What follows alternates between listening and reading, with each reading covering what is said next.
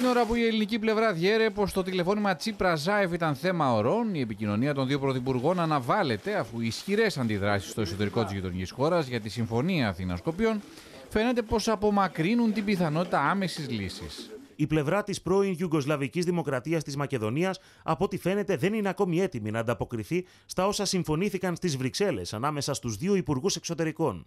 Συνεπώς, η πιθανότητα συμφωνίας εντός των επόμενων ημερών φαίνεται πως απομακρύνεται. Δεν θεωρώ τίποτα δεδομένο. Σας λέω ότι μέχρι να συμφωνηθούν όλα δεν έχει συμφωνηθεί τίποτα. Στα Σκόπια, ο πρόεδρος Ιβάνοβ ζητάει από τον πρωθυπουργό Ζάεφ έγγραφα που να δείχνουν το τι συζητούν οι δύο πλευρές, μια μέρα μετά την ιδιαίτερα σκληρή του ανακοίνωση, όπου έκανε λόγο για προσωπική συμφωνία των δύο πρωθυπουργών.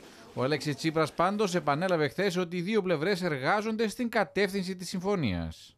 Αποτελεί χαρακτηριστικό παράδειγμα των προσπαθειών μας που με υπευθυνότητα και πατριωτισμό επιχειρούμε όλο το τελευταίο διάστημα. Ο πρόεδρος Βουλής επιμένει πάντως πως η επικύρωση της συμφωνίας, εάν τελικά προκύψει, θα γίνουν μόνο όταν εκπληρωθούν όλοι τις οι όροι. Εφόσον οι αιρεσιμότητες, εφόσον οι προϋποθέσεις που θα υπάρχουν στον οδικό χάρτη θα έχουν ολοκληρωθεί. Τρέχουμε να προλάβουμε, ενώ θα έπρεπε να τρέχουν να προλάβουν οι άλλοι και έχει σημασία σε μια διαδικασία διπλωματικής διαπραγμάτευσης ποιος βιάζεται, γιατί αυτός που βιάζεται έχει το μειονέκτημα. Την ίδια ώρα φαίνεται πως υπάρχει διάσταση μεταξύ Μεγάρου Μαξίμου και Υπουργείου Εξωτερικών, κυρίως αναφορικά με την αισιοδοξία που εξέπεμψε ο Νίκος Κοτζιά για τελική κατάληξη, ενώ τα βέλη του στον Υπουργό Εξωτερικών έστρεψε και ο Φώτης Κουβέλης. Η υπόθεση βρίσκεται σε εξέλιξη. Θα αποτελούσε, αν θέλετε, σπουδή, αδικαιολόγητη σπουδή, να σπεύσει κάποιος να προκρίνει το τέλος αυτής της συζήτησης και της διαπραγμάτευσης. Δεν αποτελεί πάντως θετική εξέλιξη, με αυτό ολοκληρώνω,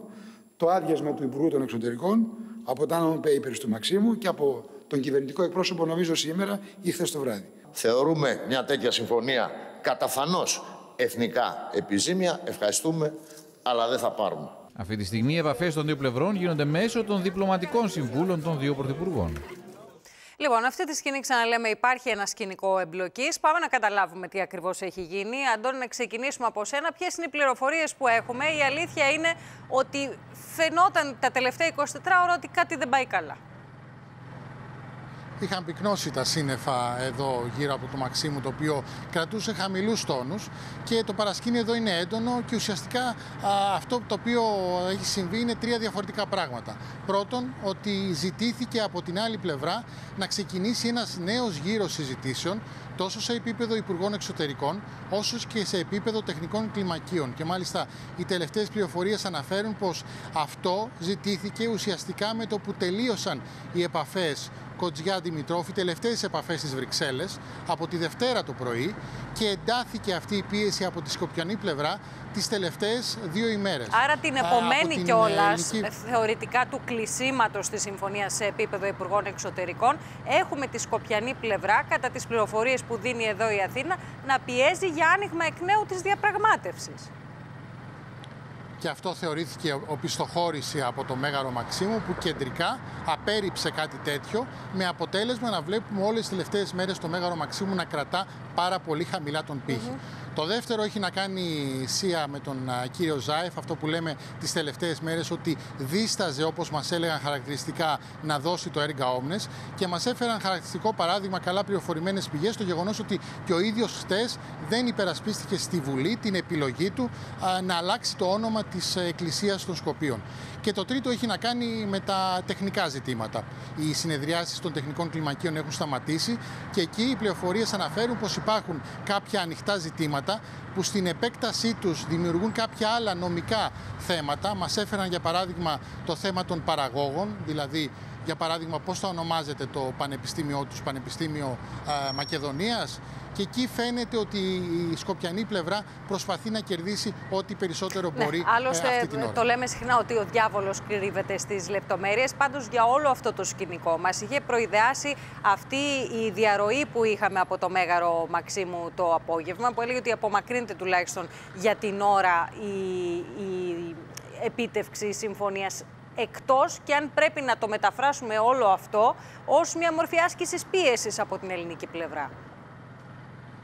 Σαφώς πιέζει τα Σκόπια η ελληνική πλευρά με αυτή την ανακοίνωση. Θα μπορούσε κάποιος να πει ότι ως ένα βαθμό ε, σε εισαγωγικά βολεύει τον Ζόρα Ζάεφ, ο οποίος στο εσωτερικό του μπορεί να περάσει να πει: Κοιτάξτε, η ελληνική πλευρά αυτή τη στιγμή κινδυνεύουμε να μείνουμε χωρίς αποτελέσματα τη στιγμή που είχαμε φτάσει πολύ κοντά. Σε κάθε περίπτωση, αυτό το οποίο είναι σίγουρο ότι το τηλεφώνημα αυτή τη στιγμή είναι θολό, ακόμα και μέσα στο Σαββατοκύριακο. Και αυτό το οποίο παραμένει ενισχύ είναι οι επαφές των δύο διπλωματικών γραφείων. Μάλιστα. Το Υπουργείο Εξωτερικών τώρα τι πληροφόρηση μας δίνει για αυτές τις τελευταίες εξελίξεις, Απόστολε; Αυτό που είναι σαφές από την ελληνική πλευρά είναι ότι δεν υπάρχει θέμα επιστροφής αυτή τη στιγμή τουλάχιστον. Αλλά γενικότερα νομίζω επιστροφής στο τραπέζι των διαπραγματεύσεων. Θυμίζω, μιλάμε για μια διαπραγμάτευση που ξεκίνησε ουσιαστικά πριν από έξι μήνες. Έχει συμφωνηθεί το μεγαλύτερο μέρος, έχουν κλείσει σχεδόν όλα τα κεφάλαια, έμεναν οι πολιτικές αποφάσεις. Και είναι χαρακτηριστικό κάτι που μας έλεγε άνθρωπος γνώστης των διαπραγματεύσεων, μιλώντας στο Sky.